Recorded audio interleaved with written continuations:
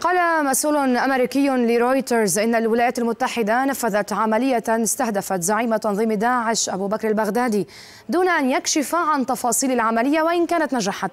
ونسبت مجلة نيوزويك إلى مسؤول بالجيش أن البغدادي قتل خلال غارة جوية صادق عليها الرئيس الأمريكي ترامب قبل نحو أسبوع. ونفذتها أمريكا في سوريا لكنهم ينتظرون التأكيد.